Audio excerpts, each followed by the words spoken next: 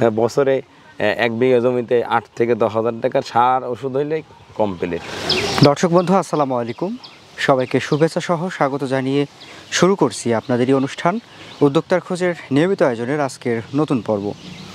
আজকের পর্বে আমরা চলে এসেছি হচ্ছে চুয়াডাঙ্গা জেলার জীবননগর উপজেলার রায়পুরে। আমাদের মোল্লা নার্সারি হচ্ছে হৃদয় মোল্লা ভাই রয়েছেন।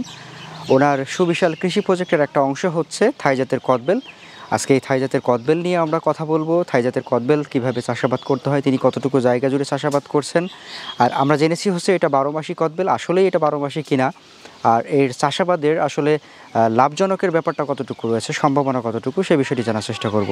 আশা করছি সঙ্গেই থাকবেন।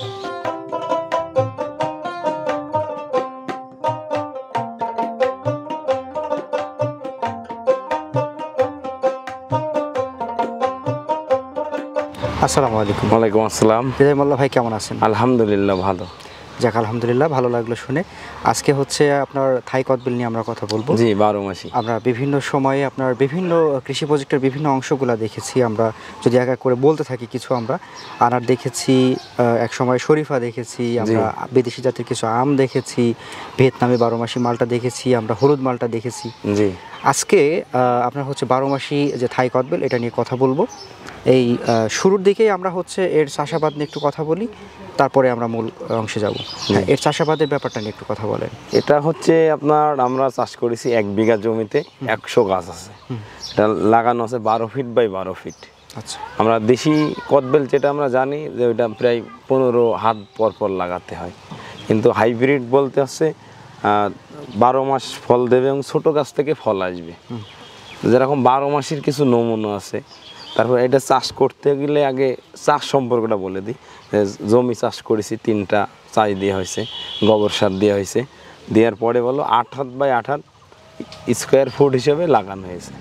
লাগানোর পরে সার, কীটনাশক, যেভাবে আমরা অন্যান্য ফসলে দিয়ে থাকি, পেয়ারা, আম যে কোনো ফসল, মালটা যেভাবে চাষ করি ঠিক এটাও সেম এটাই ওষুধ খরচ কম লাগে, একটু সার খরচও কম লাগে এটাই। বছরে এক বিঘা জমিতে আট থেকে দশ হাজার টাকার সার ওষুধ হইলে কমপ্লিট আচ্ছা। ন্যাচারালভাবে দেখবেন দেশি গাছে এখন প্রচুর ফল আছে। কিন্তু ছোট ফল বড় ফল দেশি গাছে ফল থাকে না। যেমন আমি যদি এই গাছটা দেখাই দেখেন এই গাছটায় ছোট ফল আছে। এক দুই তিন চার এই দেখেন এই একটা পাঁচ। আপনার মাথার উপরে কিন্তু এ- এই একটা দেখেন একদম ছোট ছোট জিরো জিরো ফল। যদি এটা দেখেন এই যে ছোট ছোট জিরো জিরো ফল। জিরো সাইজের হ্যাঁ? এবারটা যদি ভিতরে দেখাই এই দেখেন এক থোকায় তিনটা। তারপরে যদি এই থোকাটাই দেখাই এই দেখেন ছোট ফল। তারপরে এই যে বড় ফল আছে এই যে বড় ফল আছে আবার এই যে এক সাইজ আছে আচ্ছা। আবার এইটা আছে এক সাইজ। তারপরে আছে এই দেখেন ফুল থেকে গুটি আসছে এটা এক সাইজ। তারপর এই যে ফুল থেকে আবার গুটি আসছে বা ফুল আসছে এটা দেখেন এক সাইজ। আবার এই দেখেন আমি যদি একটা ডাল না আমি কয়েকটা ডাল একসাথে করি দেখেন প্রচুর ফুল আছে এই গাছে। তাই না? প্রচুর ফুল আছে। বারো মাসি বলতে ছোট বড় সব রকম আছে। তাহলেই সেটা হচ্ছে বারো মাসি। গাছ প্রতি কেমন ফলন পাওয়া যায়? গাছ প্রতি দেখা গেল যে এই গাছে এই সিজনে তো অতিরিক্ত তাপের কারণে বলো ফল অনেক ঝরে গেছে। মানে একশো পার্সেন্টের মধ্যে টোয়েন্টি পার্সেন্ট ফলও নাই। কারণ হচ্ছে অতিরিক্ত খরা। খরার কারণে ছোট ছোট গুটি এই অবস্থায় এরকম ঝরে গেছে। এই যে এই ফলটা বলো ঝরে গেছে।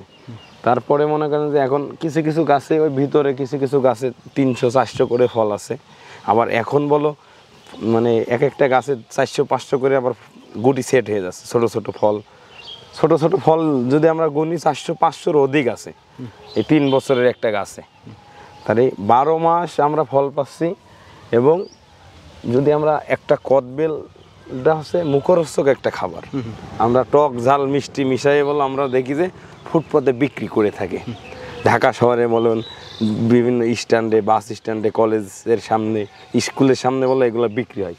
এই ছোট ফল দেখছেন? এটা দেখেন এক সাইজ এটা বলো, আবার একটু ছোট সাইজ মানে সব রকমই ফল আছে একটা গাছে।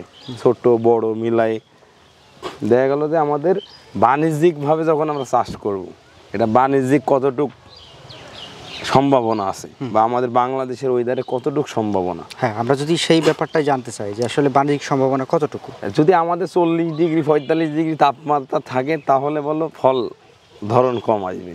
কারণ এখন বর্ষাকাল না গরম না ঠান্ডা। এখন বলো ভালো ফল সেট হবে। দেখা গেলো এখন একশো ফল একটা থোকায় বিশটা ফল আসলে দেখা গেলো দশটা দাঁড়ায় যাবে। দশটা দাঁড়ানোর দরকার নেই তিনটা চারটা দাঁড়াইলে এনাফ মানে এক থোকায় এক গেলা থাকলে আবার বেশি ফল বড় হয়। গাছ প্রতি আপনি যেমনটা বলছিলেন যে অনেক মোটামুটি ফলন হয় আমরা হচ্ছে এখন যদি একটু বড় বড় যে গাছগুলো রয়েছে সেগুলোতে খেয়াল করলে হয়তো তিন চারশো গুটি সেট হওয়া দেখতে পাচ্ছি। তারপরে এই জায়গায় একটা বিষয় আছে যে আপনার দুইটা জাত আছে একটা আছে কাটা বিহীন আর একটা আছে কাটা সহ আচ্ছা আপনার এটা কি জাত? এটা একটা আছে কাটা সহ আর একটা আছে কাটা এগুলাই মানে কাটা দুইটা দুইটা জাতি হ্যাঁ, এগুলাই কাটা নাই। আচ্ছা। এগুলাই কোনো ইয়েতে দেখেন কাটা নাই কোনো ডোগায় কাটা নাই। আবার এই গাছটা যদি আপনি দেখেন এই গাছটা দেখেন এই গাছটাই কাটা আছে। হ্যাঁ এই বড় দেখেন, বড় গাছটায় দেখেন বড় বড় কাটা প্রত্যেকটা ডোগায় ডোগায় কাটা আছে। এই দেখেন কত বড় বড় বেলের কাটার মতন। আচ্ছা, ফলন কোনটাতে বেশি? ফলন এটাই বেশি এটাই দেখেন কোনো কাটা নাই এটা একটাও কাটা নাই। এটা যদি দেখেন এই দেখেন ছোট্ট ফল বড় ফল সব রকম ফল ফুল বলে এই গাছে আছে। এবং এর একটা বিশেষ গুণ আছে আমরা সামনে চলেন দেখাই। এই গাছের বেল বলে অনেক বড় বড় হয় কদবেলগুলো। কদবেলগুলো। হ্যাঁ অনেক বড় বড়।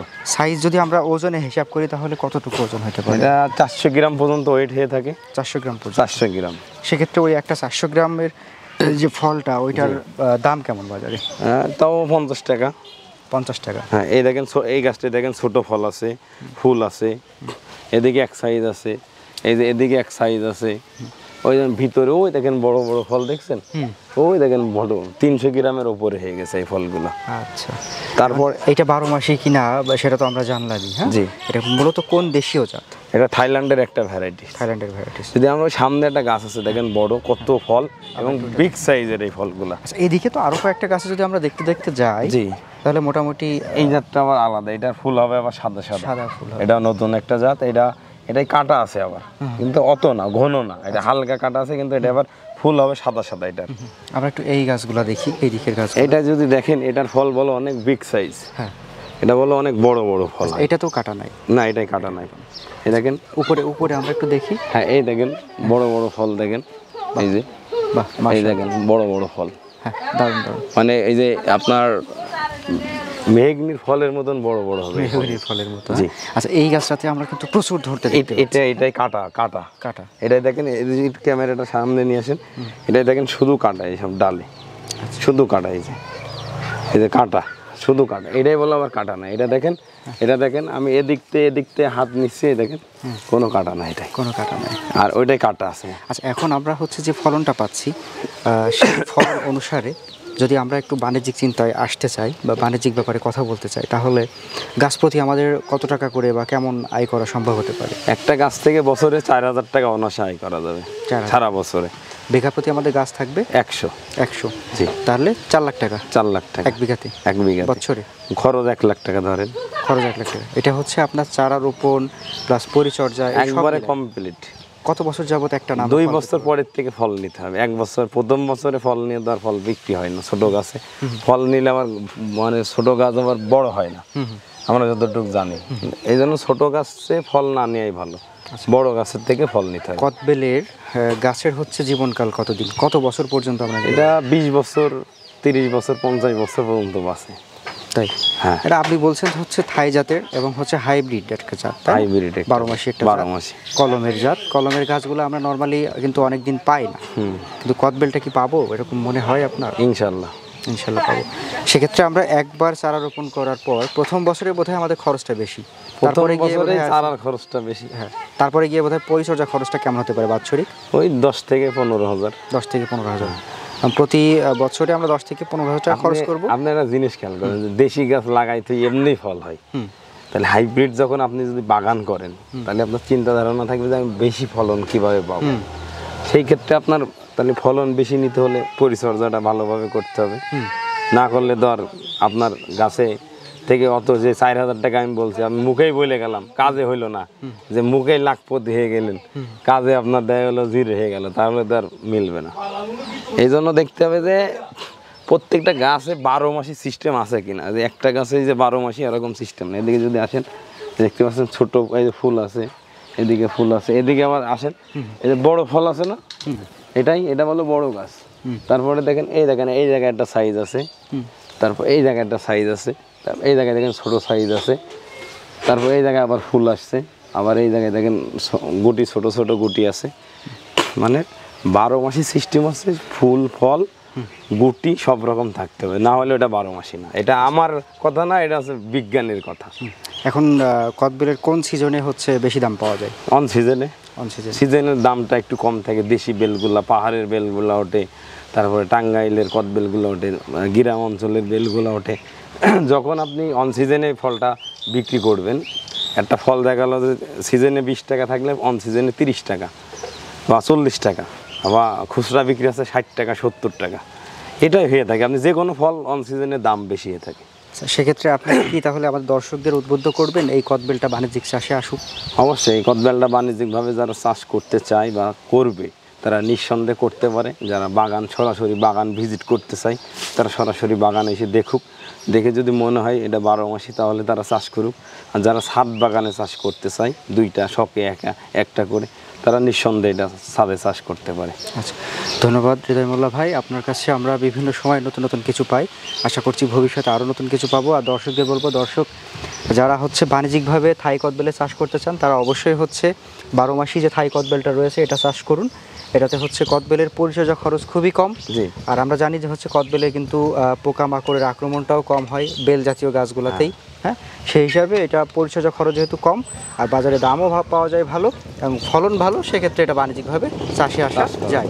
তো হৃদয় মোল্লা ভাই আপনার জন্য শুভকামনা আমাদের জন্য দোয়া করবেন। ইনশাল্লাহ ভালো থাকেন। আসসালামু আলাইকুম।